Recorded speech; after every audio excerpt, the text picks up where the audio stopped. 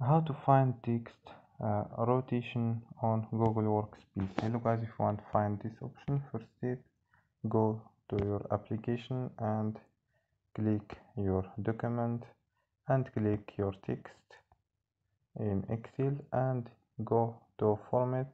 So click this option and click text and scroll down. And here you can find text rotation. So click text rotation and here you can find uh, tilt up you can find tilt down stack uh, rotate up rotate down. So don't forget like and subscribe.